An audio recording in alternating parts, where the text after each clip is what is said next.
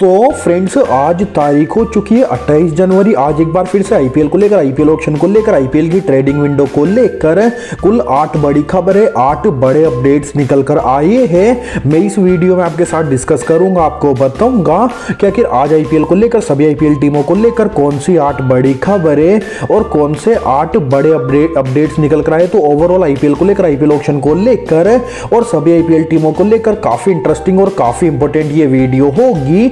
तो आप इस वीडियो को अंत तक ज़रूर देखिएगा।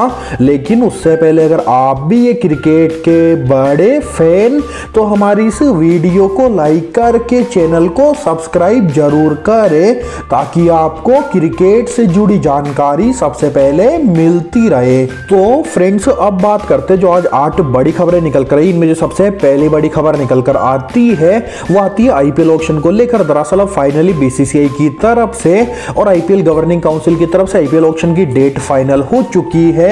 हमें ये पता चल चुका है कि आखिर कौन सी तारीख को हमें आईपीएल ऑप्शन देखने को मिलेगा। बीसीसीआई ने कंफर्म कर दिया है कि इस साल 18 फरवरी को हमें आईपीएल ऑप्शन देखने को मिलेगा। मिनी ऑप्शन होने के कारण केवल एक ही दिन ऑप्शन होगा। 18 फरवरी को हमें कंप्लीटली पूरी तरीके से आईपीएल का ऑप्शन देखने को मिलेगा। इसके बाद बात करते हैं दूसरी बड़ी खबर की। तो जो दूसरी बड़ी खबर निकल कर आती है, वो आती है आईपीएल ऑप्शन की वेन्यू और टाइमिंग को लेकर। दरअसल बीसीसीआई ने आईपीएल ऑप्शन की वेन्यू और टाइमिंग में भी अब बड़ा बदलाव किया है, जहाँ पर हर साल कोलकाता या फिर बेंगलोर या फिर जयपुर में हमें ऑप्शन देखने को मिलता था। लेकिन अब आईपीएल इतिहास में पहली बार हमें चेन्नई में ऑप्शन देखने को मिलेगा। बीसीसीआई ने कंफर्म कर दिया है कि इस साल का ऑप्शन चेन्नई में कंडक्ट कराया जाएगा और ऑप्शन लगभग शाम साढ़े तीन बजे से लेकर रात साढ़े दस बजे तक चलेगा। हालाँकि अभी तक टाइमिंग कंफर्म नहीं हुई है, लेकिन एक्सपेक्टेड ये बताया जा रहा है कि आईपीएल ऑप्शन शाम साढ़े बजे से लेकर रात साढ़े दस बजे के बीच चलेगा। कुछ इस तरीके से आईपीएल ऑप्शन हमें देखने को मिलेगा और कुल साढ़े तीन सौ प्लेयर्स ऑप्शन का भाग होंगे और आने वाले कुछ ही दिनों में उन सभी प्लेयर्स की लिस्ट भी हमारे सामने आ जाएगी। इसके बाद अगर हम बात करें तीसरी बड़ी खबर की तो जो तीसरी बड़ी खबर निकल कर आती है, वो आती है पंजाब की तरफ़ से। दरअसल आईपीएल ऑप्शन से पहले पंजाब की टीम ऑप्शन की प्लानिंग में लग चुकी है। ऑप्शन की तैयारियाँ शुरू कर चुकी है और यहाँ पर ऑप्शन की प्लानिंग ऑप्शन की तैयारियों के सिलसिले में पंजाब की टीम ने अपने तीन टारगेटेड प्लेयर्स के नाम बताए हैं, जिन प्लेयर्स को ये टीम ऑप्शन में टारगेट करेगी ऑप्शन में परचेस करने का ट्राई करेगी। अगर हम बात करें उन तीन प्लेयर्स की तो इनमें नाम आता है ग्लेन मैक्सवेल का नाम आता है क्रिस मोरिस का, और नाम आता है उमेश यादव का, जहाँ पर ग्लेन मैक्सवेल को ये टीम काफ़ी कम प्राइस में खरीदने का ट्राई करेगी। ये टीम ग्यारह करोड़ रुपए ग्लेन मैक्सवेल को देती थी। इसी वजह से इस टीम ने मैक्सवेल को रिलीज़ कर दिया है, और ऑप्शन में ये टीम तीन से चार करोड़ तक मैक्सवेल को दोबारा खरीदने का प्रयास करेगी ताकि इस टीम के मिडल ऑर्डर में एक अच्छा खासा बल्लेबाज आ सके। इसके अलावा क्रिस मोरिस को भी ये टीम ऑप्शन में खरीदने का ट्राई करेगी ताकि इस टीम को एक अच्छा खासा गेंदबाज मिल जाए और एक फिनिशर मिल जाए जो कि नंबर छह नंबर सात पर आकर आखिरी के कुछ ओवर में अच्छी खासी बल्लेबाजी कर सके। और उमेश यादव को ये टीम इंडियन तेज गेंदबाज के रूप में खरीदेगी, जहाँ पर मोहम्मद शमी के अलावा इस टीम के पास कोई भी अच्छा क्वालिटी का इंडियन गेंदबाज नहीं है। तो यहाँ पर मोहम्मद शमी के बैकअप के तौर पर यह टीम उमेश यादव को परचेस करने का ट्राई करेगी ना सिर्फ़ ये टीम बल्कि और भी काफ़ी सारी टीमें अब उमेश यादव के पीछे ऑप्शन में जाएगी तो अब ये देखना काफ़ी इंटरेस्टिंग होगा कि आखिर पंजाब की टीम ने जिन जिन प्लेयर्स को टारगेट किया है, उनमें से कौन कौन से प्लेयर्स को ये टीम परचेस कर पाएगी, आप कमेंट करें। आपके अकॉर्डिंग पंजाब की टीम का इन तीनों प्लेयर्स को ऑप्शन में परचेस करने वाला डिसीज़न सही डिसीज़न होगा या फिर नहीं? इसके बाद अगर हम बात करें चौथी बड़ी खबर की तो जो चौथी बड़ी खबर निकल कर आती है आती है आकाश चोपड़ा की तरफ़ से। दरअसल आकाश चोपड़ा ने राजस्थान रॉयल्स की टीम को लेकर, राजस्थान रॉयल्स की टीम की ऑप्शन की स्ट्रेटजी को लेकर एक बड़ा यहाँ पर स्टेटमेंट दिया। इन्होंने राजस्थान रॉयल्स की टीम को सजेशन दिया है कि राजस्थान रॉयल्स की टीम को यहाँ पर स्टेवन स्मिथ की जगह अपनी टीम में या तो डेविड मलान या फिर जेसन रॉय या फिर एरन फिंच में से किसी एक प्लेयर को खरीदना चाहिए, जहाँ पर मोस्ट लाइकली डेविड मलान को खरीदना चाहिए। जैसे इस टीम के पास ऑलरेडी इंग्लैंड के काफ़ी अधिक प्लेयर इस टीम के पास जोस बटलर बेन स्टोक्स और जोफ्रा आर्चर के रूप में ऑलरेडी तीन इंग्लैंड के काफ़ी वर्ल्ड क्लास प्लेयर इस टीम के पास मौजूद है। इसके अलावा अगर ये टीम डेविड मलान को और अपनी टीम में इंक्लूड कर लेगी तो इससे डेविड मलान को काफ़ी अधिक फ़ायदा होगा इंग्लैंड के प्लेयर्स होने की वजह से।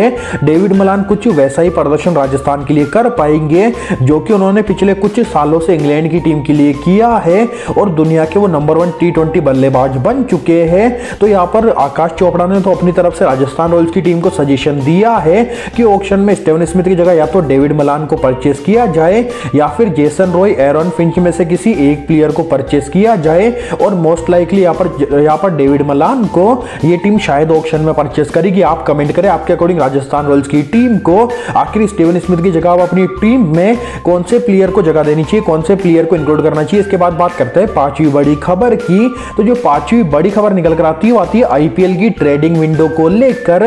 दरअसल आईपीएल 2021 के सीज़न के लिए अब तक तीन ट्रेड्स हो चुकी है और आने वाले कुछ दिनों में हमें और भी काफ़ी सारी ट्रेड्स देखने को मिलेगी। इसी वजह से सभी टीमों ने बीसीसीआई से रिक्वेस्ट करके अब ट्रेड विंडो को एक्सटेंड करवा दिया। जो चार फरवरी को ट्रेड विंडो समाप्त होने वाली थी, वो अब सात दिन और एक्सटेंड हो चुकी है। अब ग्यारह फरवरी को इस साल की ट्रेड विंडो क्लोज होगी। ग्यारह फरवरी को शाम पाँच बजे हमें ट्रेड विंडो क्लोज होती हुई दिखेगी। शाम पाँच बजे के बाद कोई भी ट्रेड नहीं होगी। इससे ये पता चलता है कि वो आने वाले कुछ दिनों में हमें बड़ी बड़ी ट्रेड देखने को मिलेगी। इसी वजह से सभी टीमों ने रिक्वेस्ट करके यहाँ पर ट्रेड विंडो को एक्सटेंड करवा दिया। इसके साथ ही बीसीसीआई ने यह भी अनाउंस कर दिया है कि जो भी प्लेयर्स ऑप्शन का भाग होना चाहते हैं, वो 11 फरवरी तक अपना नाम सबमिट करना होगा। 11 फरवरी को ये विंडो भी क्लोज हो जाएगी। तो 11 फरवरी को यहाँ पर ट्रेड विंडो क्लोज होगी। 11 फरवरी को यहाँ पर ऑप्शन में नाम आने वाले प्लेयर्स की यहाँ पर लिस्ट भी बीसीसीआई अनाउंस कर देगी। इसके बाद अगर हम बात करें यहाँ पर छठी बड़ी खबर की तो जो छठी बड़ी खबर निकल कर आती है, वो आती है पंजाब की तरफ़ से। दरअसल, पंजाब की टीम ने हैदराबाद के ऑलराउंडर मोहम्मद नबी को नबी की ट्रेड को लेकर उनके साथ कांटेक्ट किया था। हैदराबाद की टीम के साथ कांटेक्ट किया था और नबी ने हैदराबाद की टीम से रिक्वेस्ट करी थी कि उनको रिलीज़ कर दिया जाए, टीम से बाहर कर दिया जाए या फिर ट्रेड कर दिया जाए। लेकिन हैदराबाद की टीम ने इनको टीम से रिलीज़ नहीं किया था। लेकिन अब ये टीम इनको ट्रेड के लिए अवेलेबल कर चुकी है और पंजाब की टीम के पास इतने अधिक पैसे होने के कारण अब पंजाब की टीम चार से पाँच करोड़ में नबी को ट्रेड करके ऑप्शन से पहले अपनी टीम में इंक्लूड कर सकती है। काफ़ी हाईली चांसेस बन चुके हैं। और अब ये हो सकता है कि आईपीएल 2021 के सीज़न में हमें मोहम्मद नबी पंजाब की तरफ़ से खेलते हुए दिखे। वैसे आप कमेंट करके बताइए, आपके अकॉर्डिंग पंजाब की टीम को आखिर इन्हें ट्रेड करके अपनी टीम में इंक्लूड करना चाहिए या फिर नहीं? इसके बाद बात करते सातवीं बड़ी खबर की। तो जो सातवीं बड़ी खबर निकल कर आती है, वो आती है सौरभ गांगुली को लेकर। दरअसल सौरभ गांगुली को यहाँ पर 20 दिन पहले हार्ट आया था, इसके बाद इन्हें हॉस्पिटल में एडमिट किया गया था और इनकी एक सर्जरी होने के बाद ये रिकवर होकर अपने घर लौट चुके थे। लेकिन कल शाम इनको दोबारा से एक बार फिर से हार्ट अटैक आया है। इनको चेस्ट में पेन हुआ था, इसके बाद ये बेहोश हो गए थे और इनको दोबारा से उसी हॉस्पिटल में एडमिट कर दिया गया है। और अब तक की जो हॉस्पिटल से रिपोर्ट निकल कर आ रही है, उसके अकॉर्डिंग गांगुली की अब स्थिति सामान्य बताई जा रही है। लेकिन इनकी अब दूसरी सर्जरी होगी, जहाँ पर एक सर्जरी इनकी ऑलरेडी हो चुकी है और अब दूसरी सर्जरी होगी उसके बाद दो दिन के रेस्ट के बाद ये अपने घर जा सकते और दो सप्ताह के रेस्ट के बाद दोबारा से, ये दोबारा से बीसीसीआई के कामकाजों में लग सकते और ऑक्शन का भाग हो सकते हैं। तो 18 फरवरी को अब गांगुली में ऑक्शन करवाते हुए दिख सकते हैं। इसके बाद बात करते हैं आठवीं और आखिरी बड़ी खबर की। तो जो आठवीं और आखिरी बड़ी खबर निकल कर आती है, वो आती है आईपीएल 2021 के सीज़न को लेकर। दरअसल आईपीएल 2021 के सीज़न की वेन्यू को लेकर बीसीसीआई ने सभी टीमों को यहाँ पर एक बड़ी बड़ी स्टेटमेंट दे दी है। बीसीसीआई ने बता दिया कि सभी टीमों को ऑक्शन में यहाँ पर इंडियन कंडीशन के अकॉर्डिंग स्क्वेड बिल्ड करना होगा, क्योंकि आईपीएल 2021 का सीज़न हमें इंडिया में देखने को मिलेगा। बीसीसीआई ने कंफर्म कर दिया है, जहाँ पर पिछले साल आईपीएल भारत से बाहर चला गया था। इससे काफ़ी सारी टीमों को नुकसान हुआ था। टीमों ने भारत की कंडीशन के अकॉर्डिंग अपने स्क्वेड बिल्ड किए थे, लेकिन इस बार बीसीसीआई ने सभी टीमों को बता दिया कि आईपीएल भारत में होगा, और मोस्ट लाइकली मुंबई, पुणे, अहमदाबाद जैसी लोकेशंस पर इन स्टेडियम्स में हमें आईपीएल 2021 का सीज़न देखने को मिलेगा।